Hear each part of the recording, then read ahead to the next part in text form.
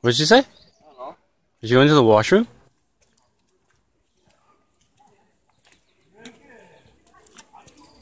If she was catching Pokemon, I don't think she'd walk that far.